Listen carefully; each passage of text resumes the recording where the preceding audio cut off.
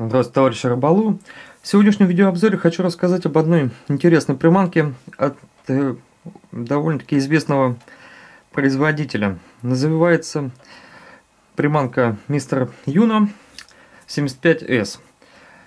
Производит данную приманку одна из любимейших моих компаний, фирма Матома, которая славится не только воблерами, но также отличными силиконовыми приманками. В данном случае приманка класса Мину.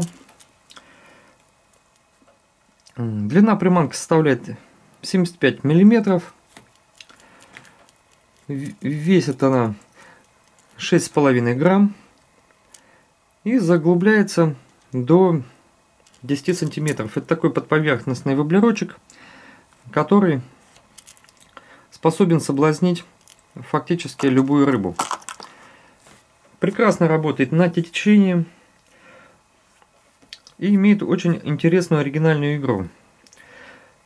Тело приманки, как водится у воблеров минов, такое равномерно вытянутое, длинненькое, очень детально проработанное, с виду напоминает малька.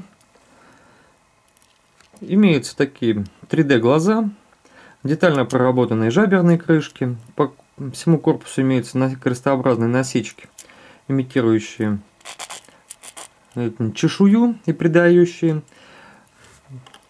дополнительную привлекательность при отражении света от корпуса. Имеет очень хорошее лакокрасочное покрытие, устойчивое к многочисленным поклевкам, даже зубастой хищницы. Еще одна особенность приманки в том, что, несмотря на свой размер, она оснащена аж тремя тройниками сравнительно небольшого размера, что, само собой, минимизирует количество холостых поклевок и исходов. Стоит рыбе зацепиться за один крючок, и чем она больше сопротивляется, тем больше крючков в нее впиваются.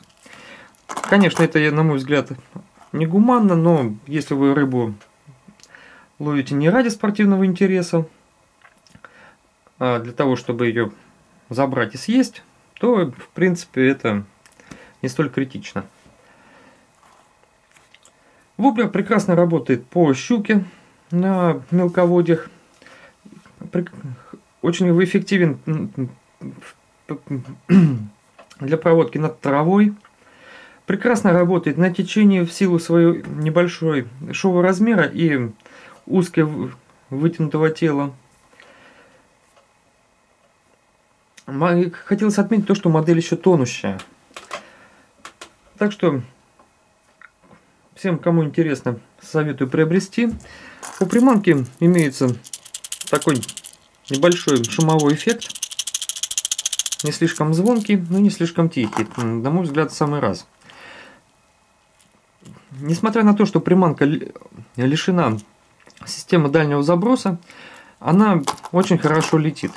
Не кувыркаясь, четко хвостиком вперед. И забросить ее даже в ветреную погоду хорошим спиннингом не составит никакого труда.